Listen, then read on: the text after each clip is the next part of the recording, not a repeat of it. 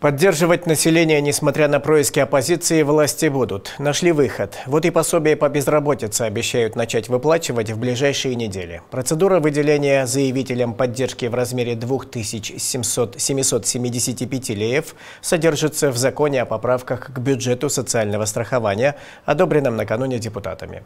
Документ вступит в силу после того, как будет опубликован в официальном мониторе. Тогда и станут возможны выплаты. Парламент проголосовал за эти законы.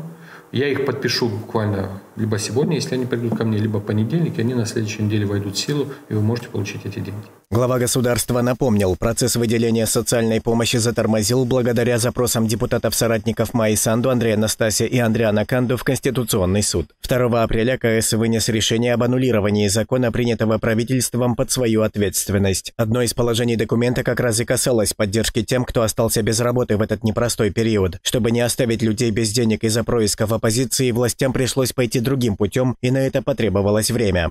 Несмотря на то, что Конституционный суд заблокировал мы решением правительства продлили возможность, чтобы такие заявки вы смогли регистрировать.